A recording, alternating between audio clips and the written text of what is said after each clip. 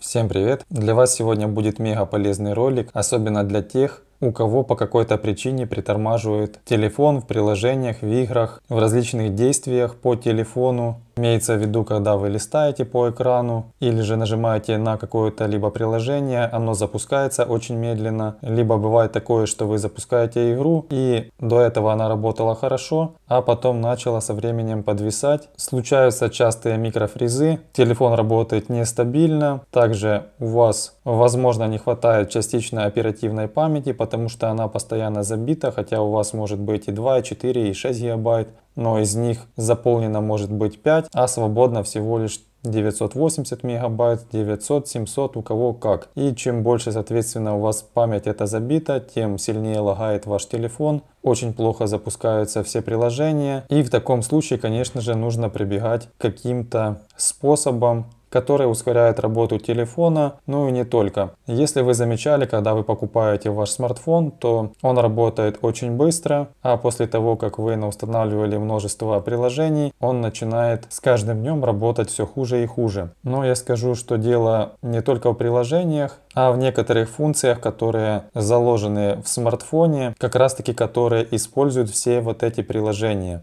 И если подключать абсолютно ненужное, то вы очень сильно сможете ускорить ваш смартфон и добиться лучших результатов. После отключения того, что я покажу, а я покажу 4 пункта, которые обязательно нужно отключить, 4 настройки, которые частично скрыты разработчиками. И скорее всего вы о этих настройках даже не знаете, либо знаете, но не до конца. Потому смотрите, конечно же, это видео до конца. Кто не подписан на канал, обязательно подпишитесь. И авансом можете, конечно, поставить лайк. И судя с названия видео, вы, конечно же, догадались, что абсолютно все эти настройки находятся в нашем Play Market как раз таки это является основное приложение, которое дает нам скачивать остальные приложения и имеет очень большую роль в вашем смартфоне. Значит, что нам нужно сделать? Это зайти в наш Play Market, либо Google Play он может называться. Дальше смотрите, здесь есть значок вашего аккаунта. Без аккаунта, конечно же, вы не можете скачивать различные игры.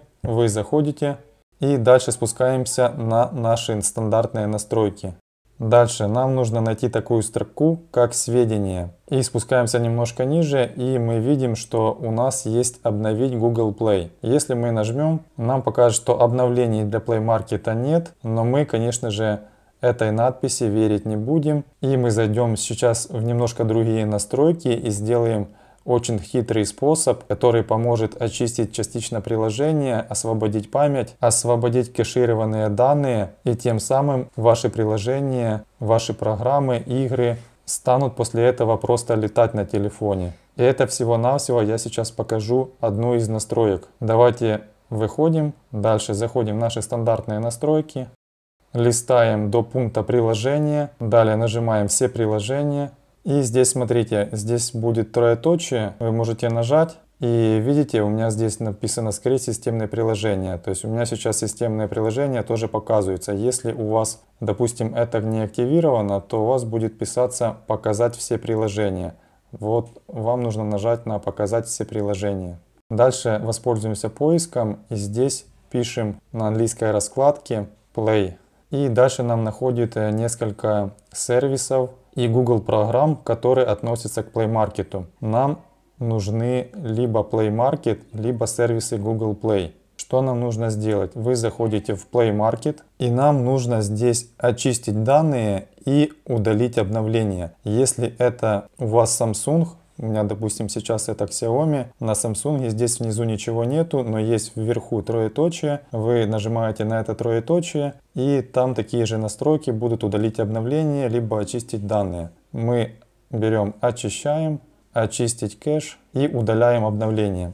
После этой настройки вы избавитесь от множества косяков, которые присутствуют в различных приложениях, и вы избавитесь от ошибок, которые накоплены за много лет. А что касается самого обновления Play Market, то оно вам обязательно придет, и вы его просто устанавливаете, по умолчанию. То есть оно может даже установиться автоматически, не спрашивая вас. Но при этом вы сделали очистку от различных багов, которые присутствуют в всех ваших приложениях. Из-за этого телефон очень плохо себя ведет в плане работы. И смотрите, показываю. Это была первая настройка. Теперь возвращаемся снова в наш Play Market. Видите, я приложение, в принципе, обновления я удалил, но приложение точно так же все работает и даже запускается намного быстрее, чем запускалось. Уже, скажем, результаты видны на глаза. Заходим снова на наш значок и снова спускаемся на наше общее меню и находим пункт Play защита. И смотрите, здесь недавно проверенные приложения, из них еще 237 приложений, то есть у меня их очень много, но смысл не в этом, в том, что Play защита это наподобие антивирусной программы, которая постоянно сканирует все вот эти приложения на наличие различных угроз, на наличие вирусов и так далее. Она встроена в Play Market и она абсолютно вам не нужна по той причине, что все приложения, которые уже установлены в Play Market, когда вы их скачиваете, то есть они уже прошли проверку и так до этого, когда уже были закачаны на сам Play Market. И потому вот эта лишняя проверка, которая ежедневно сканирует по несколько раз, она вам не нужна. Она садит вашу батарейку и выполняются абсолютно ненужные действия на телефоне, тем самым грузится процессор, грузится оперативная память и телефон тоже от этого может работать хуже.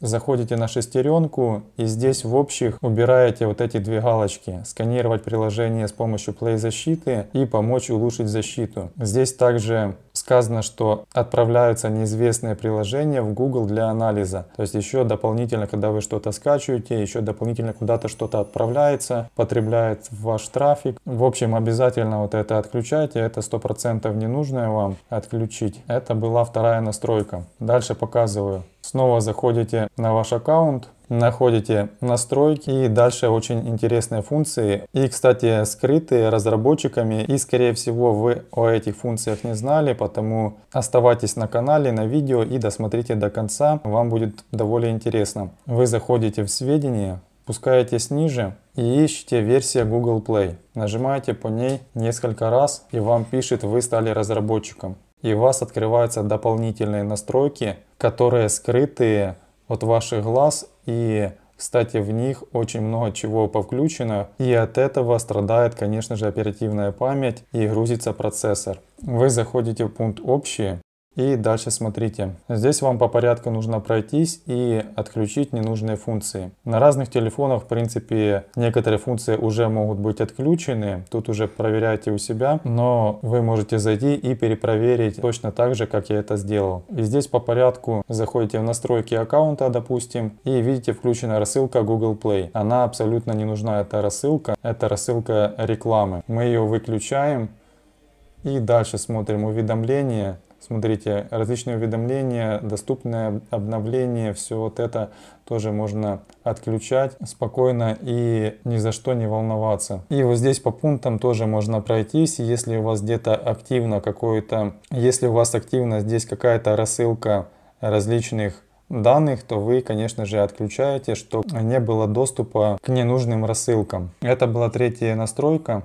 И смотрите, показываю снова. Мы заходим Открываем, заходим, справка отзыв. Дальше ищем, как удалять и отключать приложение на устройстве Android. Нажимаем, чтобы перейти в настройки приложений. И здесь у нас сейчас загрузятся все приложения, которые присутствуют на нашем телефоне. Поиска по приложениям, к сожалению, нету. Но к чему я вот это показываю? К тому, что, что здесь есть максимальный доступ ко всем функциям, вплоть до того, что можно отключить приложение без всяких программ и чтобы оно больше не работало на телефоне. И плюс здесь есть очень классная очистка, которая чистит полностью кэш, который находится на определенной программе.